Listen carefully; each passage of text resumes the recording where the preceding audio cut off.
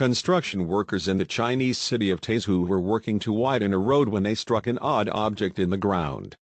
Strangely, it didn't appear on any schematics. Whatever it was, it was older than the city itself. Soon after, they began digging around the object, trying to determine what it could possibly be. As more and more of it was revealed, the workers realized they'd never seen anything like it before. When they suddenly learned what it actually was, they were stunned, and they immediately had to call for backup. Working on a road in the city of Taizhou, China, contractors discovered a strange object buried six feet beneath the surface. It didn't appear on any of the schematics for the dig, so they were completely bewildered by the discovery, to say the least. They dug it out in an effort to determine what they'd encountered as quickly as their equipment would allow. It wasn't until after they studied it for several hours, however, that they realized what it was. Despite its appearance, it wasn't just a random block of cement. It turned out that they'd stumbled upon something that had never been documented before. An archaeological team was immediately called in to investigate. After all, there was the chance that there was an amazing discovery inside.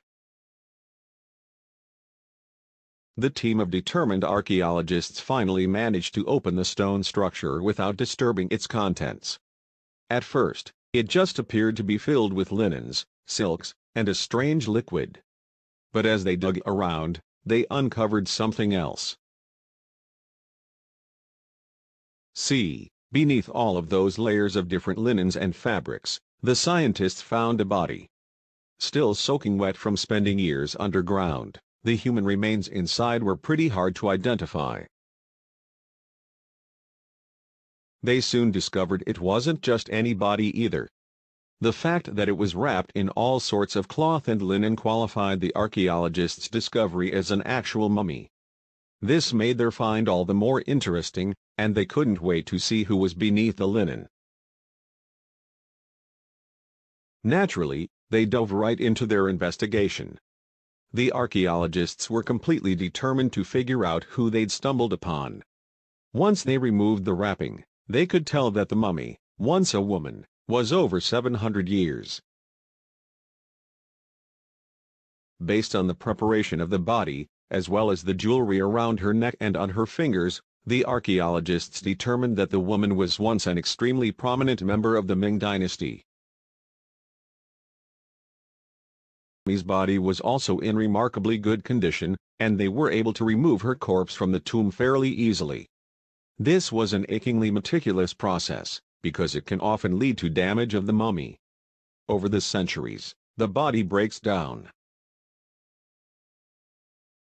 Luckily, most of the fabrics were still intact when they removed her from the tomb.